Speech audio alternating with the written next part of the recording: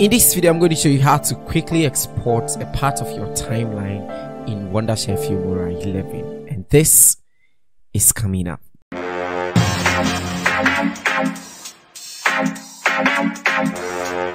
Hi everybody, Innocent here and welcome to the channel. Over here we make videos like this. If that is something that sounds like you're interested, kindly consider subscribing. So you see that moment when you have a whole timeline and then you want to export like 5 or 6 seconds out of it but you don't want to export the entire timeline before you crop it out.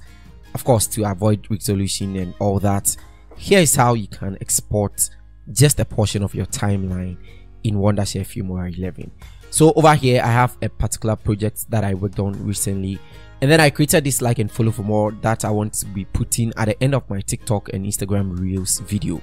Now since I'll be using this in most of my videos I wanted to export only that part. So how do you do it once you have your project open like this you're going to first of all take your cursor and place it at where you want the export to start. So in Filmora you can easily double click on the part that you want to start and then it is going to just take you there right away.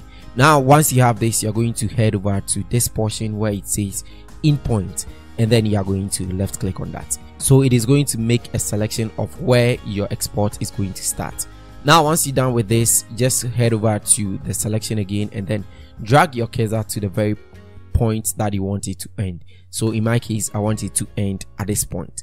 and then you go back to this point and then you are going to select the out point and then you left click on that as well. Now you realize that the rest of your timeline is blacked out and then this part is the only one that is showing. And that means that from this point if you head over to export and then you give it a name and title and then you export it. This will be the only part that will be exported. So let's give this one say like and follow. And by the way you can follow me on instagram and tiktok as well. So you can just go ahead and then export it. Let's export this to say the desktop. So let's select this one and export this to desktop. So let's go ahead and click on export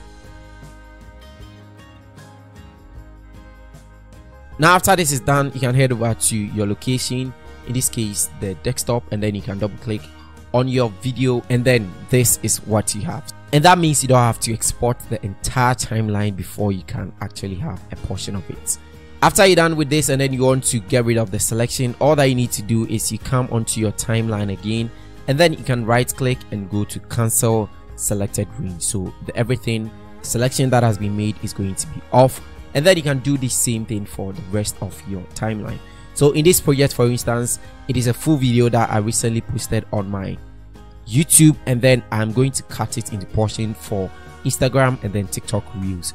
And that means I'm going to export it separately. So all that I need to do is if I want to export this portion, I'll double click, the timeline comes, and then I'm going to hit on the in point and then I'm going to drag it to the part that I want it to end. So I'm going to have it over here and then you realize that I've used the same thing and inserted it into my project and then I can drag it to this side and then click on the out point and then I have this. So when you click on export for instance you're just going to see 1 minute 16 seconds out of the entire video. If you check here the actual video is 5 minutes 42 seconds. So you can select this one and then you are going to just export it and you are good to go yes that is how you can export a part of your timeline in Wondershare Filmora 11 I hope this video was helpful. If it was, a subscribe to the channel will be so very much appreciated.